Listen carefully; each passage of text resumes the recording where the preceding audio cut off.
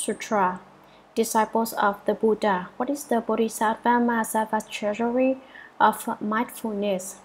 These bodhisattvas cast aside and separate from all stupidity and delusion and become complete with mindfulness.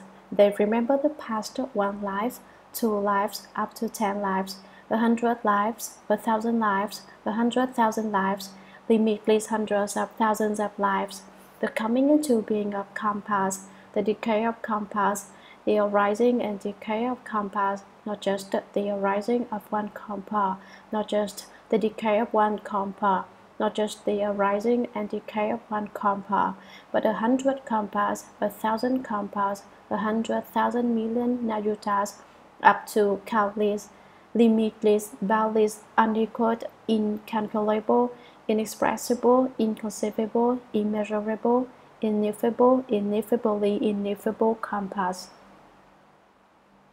Commentary After speaking about the seventh treasury of wisdom, the Bodhisattva forest of merit and virtue again calls out, disciples of the Buddha.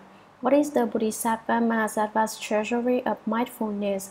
All of you, do you know what the great Bodhisattva's treasury of mindfulness is? Now I'll tell you. The following 10 meanings are being discussed in the treasury of mindfulness lives, compass, Buddha's names, bestowing predictions, speaking the teaching, the assembly, explaining the meaning, the root nature, that which is cured, that which is able to cure, these bodhisattvas cast aside and separate from all stupidity and delusion and become replete with mindfulness. They are able to forsake all stupidity and doubt. Delusion refers to doubt. They can forsake it and leave it behind. They abandon stupidity and have no doubts, and their memory is perfect. They don't forget anything. They remember the past one life they remember their last life from their birth all the way through to their death. They remember everything they did in that one life, from childhood through adulthood, in, on into old age, and finally death. They know whether the merit of good works they did was more or less than the offenses they created. The bodhisattvas can recollect all of this remembering the events of one past life doesn't count as much. But they also remember everything done in two lives. They also remember what they did and what their names were in the past three lives, up to ten lives. This means that they remember four, five, six, seven, eight, and nine lives as well as the tenth. They were born and then died. After death, they were reborn they remember the births and deaths and all that happened in between for 10 lives past. Not only do they remember for 10 lives, but they also remember up to a 100 lives. They remember giving rise to delusion, creating karma, and undergoing retribution. They remember whether or not they cultivated and whether they brought forth the Bodhi heart. With one glance, they can understand it all very clearly. Not only do they remember a hundred lives, but they are also able to remember all of the activities done in a thousand lives. All of the causes planted and fruits that were harvested within these thousand, uh, thousand lives are clear to them. They are able to remember all of the karma they created in their activities and all of the retributions they had to undergo. They also remember all of the cycle of karmic retribution that occurred in up to a hundred thousand lives. The same is true for up to limitless hundreds of thousands of lives. Not only that, but they can remember the coming into being of karmas. They remember all of the fruits of karma and the retributions undergone during that long an interval of time. Does anyone know what the coming into being of a karma is? One complete increase and one complete decrease make up one karma. A thousand karmas each consist of an increase and a decrease make up one small compound. 20 small compounds are middle-sized compound. Four middle-sized compounds are one great compound. The four middle-sized compounds represent the four stages, stages of a great compound. There is coming into being for 20 small compounds, dwelling for 20 small compounds, decline for 20 small compounds, and emptiness for 20 small compounds what comprises one increase and one decrease which makes up one compound. Every hundred years, people's lifespan decreases one year and their height decreases by one inch. From the age of 84,000 years, the lifespan gradually decreases down to 10 years and then it gradually increases so that every, one, every 100 years People's lifespan increases by one year and their height increases by one inch from the age of 10 back up to 84,000 years again. This is what is meant by one increase and one decrease, which constitutes one compound. Moreover, they remember the decay of compounds, the arising and decay of compounds, not just the arising of one compound, not just the decay of one compound, not just the arising and decay of one compound, but a hundred kalpas, a thousand kalpas, a hundred thousand million nayutas, up to countless, limitless, boundless, unequal numbers of compounds, all undergoing, coming into being, dwelling, decaying, and going empty. For this long time, they remember the Bodhisattvas are able to remember all of this very clearly and they don't forget it. This is the treasury of mindfulness whereby Bodhisattvas can remember all of the events of the past with extreme clarity. Not only do the Bodhisattvas remember countless, limitless, boundless, and unequal numbers of compounds, but they remember incalculable, inexpressible, inconceivable, immeasurable, ineffable, ineffably ineffable compounds. Kalpas here refers to great kalpas. The Bodhisattvas can remember everything throughout all that long period of time. Some people wonder if there really was a previous life and if there were past lives reaching back 10 lives, a hundred lives, a thousand lives, a hundred thousand lives, limitless hundreds of thousands of lives, and many great kalpas. If you think that it is improvable, improvable, we'll explain it by way of analogy. We reduce it so that one life is comparable to one day. Now then, we're talking about one day, two days, three days, 100 days, 1000 days, 10,000 days, up to an ineffably ineffable number of days. You couldn't disagree at length that one wasn't able to remember yesterday, the day before yesterday, and several days prior to that. So we start from one life and go up to ineffably numerous great kalpas. Bodhisattvas can remember all of the things included within this very long period of time. Sutra, they rem remember one Buddha's name up to the names of ineffably ineffable Buddhas. They remember one Buddha's coming into the world and giving a prediction up to ineffably ineffable Buddhas coming into the world and giving of predictions. Commentary They remember one Buddha's name up to the names of ineffably ineffable Buddhas. They can remember all of them. They remember one Buddha's coming into the world and giving a prediction to a Bodhisattva up to ineffably ineffable Buddhas coming into the world and giving of predictions to all Bodhisattvas. They can remember all of this. Sutra. They remember one Buddha coming into the world and speaking sutras up to ineffably ineffable Buddhas coming into the world and speaking sutras. As it is with sutras, so is it with Geya's bestower of predictions, Gathas, the Nidanas, Udanas, past lives, this life, Vaipulya, that which has never been before, analogies and discourses. Commentary This section of text discusses the 12 divisions of the canon. The Mahayana canon has 12 divisions, whereas the Hinayana canon has 9 divisions. If you want to go into more detail, you can look them up in a Buddhist dictionary. The word sutra is Sanskrit. Some say the meaning of sutra translated is to totally, above it totally, or brings together all principles of all Buddhas and below it totally with the opportunities of all living beings. It also translated as prose. Prose here includes from the beginning, thus I have heard, to the end where the assembly believes, accepts, and respectfully practices the teaching. This is called prose exclusive of the verse sections. It is also called the general appearance. This has four meanings.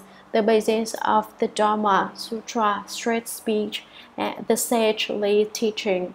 The Dharma that the Buddha spoke is the teaching of the sages. Great Master Yuan Kung divided the basis of the Dharma into five meanings. The teachings are the basis of the principles. The sutras are the basis of the shastras. The general is the basis of the specifics. The first is the basis for the latter. The expansive is the basis for the summary. As it is with sutras, so is it with geyas. The second of the 12 divisions is geya. Geya is Sanskrit and means repetitive verse or verses which reiterate the meaning of the prose section preceding it. Geyas are condensation in verse form of the principles that have just been spoken above in prose. The third is bestowal of predictions. Vidya Karam Nam. An elder Buddha bestows predictions upon a Buddha to be, or the Buddha may bestow a prediction upon a Bodhisattva and confer upon him a special name. The next is Gathas. A Gatha is a transit verse. It doesn't reiterate the meaning of the previous sections of text like the Geya, and it doesn't have any connection with sections of sutra text which follow. It is an interjection. The fifth is the Nidanas. Translated, it means causes and conditions. It could be that the Buddha's causes and conditions are spoken about, or that the Buddha's disciples' causes and conditions are spoken about. Udanas is Sanskrit meaning spoken without request.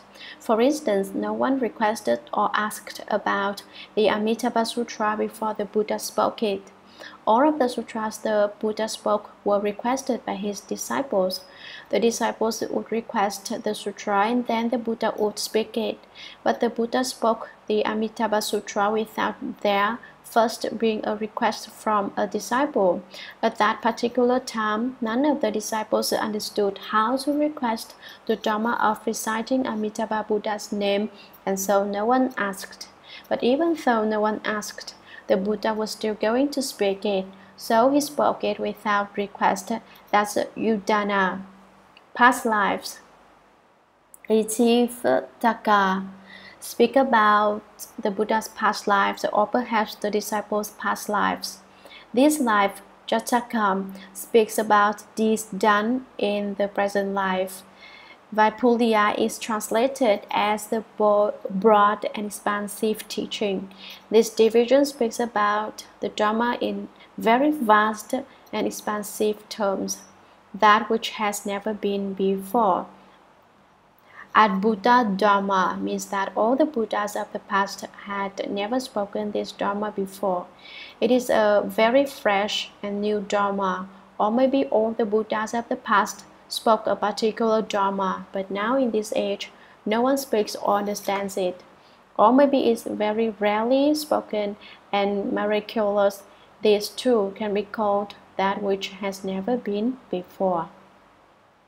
When the sutras were translated in the past, everyone working on the translation knew Chinese as well as Sanskrit.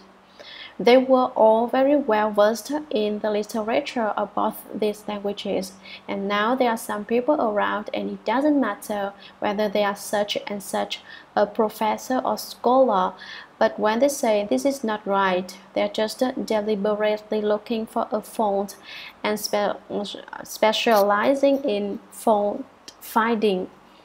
When they specialize in saying this is wrong, they try to set themselves apart by having a special style to cause everyone else to pay attention to them so that people will say, oh, such and such a professor says that something has been translated wrong all along and this represents that he has a lot of learning, except that his learning and scholarship in comparison to the patriarchs and high monks of the past is not quite the same. National Master Qing Liang was quite accomplished in Sanskrit. In the Sutra, he lists the 12 divisions of the canon in Chinese and also gives the Sanskrit for them. The Sanskrit of that which has never been before is Adbhuta Dharma. The meaning of Adbhuta is rarely existing. The meaning is all right, and so is the meaning of never been before. The last part of the Sanskrit word is Dharma, but it is not used in the Chinese translation because if it were, then grammatically it could read there has never been any Dharma. It gets by all right in Chinese to say never been before, and we could leave it at that. Analogies, Avadanam, and discourses, Upadesha, are the last two categories of the 12 divisions of the canon. Sutra, they remember one assembly up to ineffably ineffable assemblies. They remember the explanation of one Dharma up to the explanation of ineffably ineffable Dharmas. They remember the various aspects of one faculty up to the various aspects of ineffably ineffable faculties. They remember the limitless various aspects of one faculty up to the limitless various aspects of ineffably ineffable faculties. They remember the various aspects of one affliction, up to the various aspects of ineffably ineffable afflictions. They remember the various aspects of one samadhi, up to the various aspects of ineffably ineffable samadhis. Commentary the treasury of mindfulness is about much learning and a strong memory. They remember one assembly up to ineffably ineffable assemblies. They remember the explanation of one Dharma up to the explanation of ineffably ineffable Dharmas.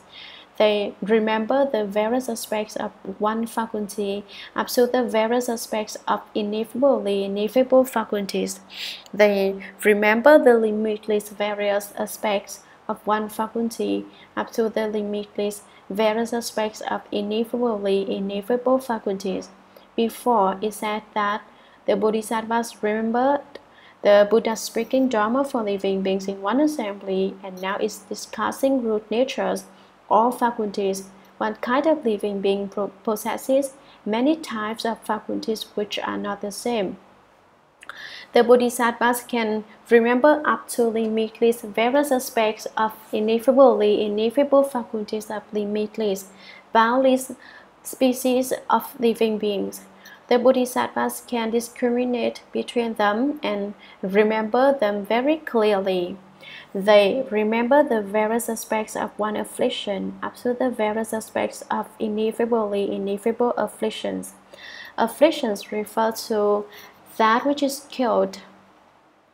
Number 9 of the list mentioned earlier. They remember all the various things that cause afflictions and the nature of these various afflictions. They remember the various aspects of one samadhi up to the various aspects of ineffably ineffable samadhis. Samadhi refers to that which is able to cure the sickness of afflictions. Number 10 of previous list. By using the water of the wisdom of samadhi, one can cure the limitless afflictions in number like motes of dust or grains of sand. The Bodhisattvas remember one kind of samadhi and within each kind of samadhi all the unspeakably many ramifications. Sutra These kinds of mindfulness are of ten kinds. They are mindfulness which is still and quiet, mindfulness which is pure, mindfulness which is not turbid, mindfulness which is bright and penetrating, mindfulness which is apart from defilement, mindfulness which is apart from various defilements, mindfulness which is apart from filth, mindfulness which is bright and dazzling, mindfulness which is pleasing, and mindfulness which is free from obstacles. When the Bodhisattvas dwell in these mindfulnesses, nothing in the world can disturb or unsettle them. No strange theories can move them. Their gurus from past lives are made pure and they are not defined by or attached to any dharma in the world. The multitudes of demons and those of external ways cannot destroy them. They can undergo rebirth and receive different bodies without any lapse in memory. They proclaim the Dharma endlessly throughout the past, present, and future. Commentary These kinds of mindfulness are of ten kinds. Mindfulness also refers to memory. They are mindfulness which is still and quiet, as it is said, one is still and unmoving, yet responds to all requests. This is mindfulness that is still and quiet, mindfulness which is pure. There is not one bit of defilement in the mindfulness which is pure, mindfulness which is not turbid. Not turbid means not stirred up or murky. The mindfulness which is bright and penetrating is bright with light and transparent like glass. Mindfulness, which is apart from defilement, is a state wherein one is far apart from all dusty defilement and false thinking. The mindfulness which is apart from various defilements and the mindfulness which is apart from filth are separate from all defiled impure dharmas Mindfulness, which is bright and dazzling, is able to emit light and radiate brightly. It uses the light of wisdom to sparkle and shine on everything. Mindfulness, which is pleasing, is the mindfulness of that which is likable, and the mindfulness which is free from obstacles means a state wherein one is not hindered by anything. When the Bodhisattvas dwell in these mindfulnesses, these ten kinds of dharmas, nothing in the world can disturb or unsettle them. No worldly dharma can move or perplex their minds. No strange theories can move them. None of the theories of the heavenly demons and externalist paths are able to move the bodhisattva's hearts. Their gurus from past lives are made pure and they are not defined by or attached to any dharma in the world. The multitudes of demons and those of external ways cannot destroy them. They are unable to destroy the bodhisattva. They can undergo rebirth and receive different bodies without any lapse in memory. When this life is over and the bodhisattva goes off to rebirth in the next life, he doesn't forget anything. He still remembers the things that happened in his past lives. They proclaim the Dharma endlessly throughout the past, present, and future, throughout the ten directions and the three periods of time. They proclaim the wonderful Dharma with no exhaustion. This is the benefit obtained by the Bodhisattvas who practice this treasury of mindfulness. Sutra, they abide together with living beings in all worlds without ever making mistakes. They enter the assemblies in the Bodhimandas of all Buddhas without any obstacles. They can draw near all the places where there are Buddhas. This is called the Bodhisattva Mahasattva's eighth treasury, that of mindfulness. Commentary They abide together with living beings in all worlds without ever making mistakes. This is referring to the Bodhisattvas who cultivate the ten inexhaustible treasuries. They enter, leave, and re enter worlds without any obstructions, not just in a single world, but in all worlds of the ten directions. Although they are bodhisattvas, they appear to be exactly like living beings and dwell together with them. They unite the light and mingle with the common lot. Lao Tzu had a similar expression unite the light, drawn with the dust. But although they manifest bodies and appear to be the same as living beings, they make no mistakes. Their self nature is pure. They are separate from all attachments and all greed, hatred, and stupidity. Because of this, they never make any mistakes. They abide among living beings, but they never commit offenses. They remain pure. This is to be just like the lotus flower, which is born out of the mud but remains undefiled. They can enter the assemblies in the Bodhimandas of all Buddhas without any obstacles. They attend all the Dharma assemblies that are the Buddha's Bodhimandas and become part of the influential assembly. They help all Buddhas propagate the Dharma and encounter no obstacles. They can go to whichever Buddhas Bodhimandas they wish to go to. It would be impossible for an obstruction to arise, and when they are in those Bodhimandas, no one obstructs them because they don't obstruct others. They can draw near all the places where there are Buddhas. These Bodhisattvas draw near to and make offerings to all Buddhas in Bodhimandas throughout the ten directions and the three periods of time. This is called the Bodhisattva Mahasattva's eighth treasury, that of mindfulness. This is the eighth treasury that all Bodhisattvas should cultivate, that of mindfulness. By means of this treasury, they are able to remember all experiences of the past.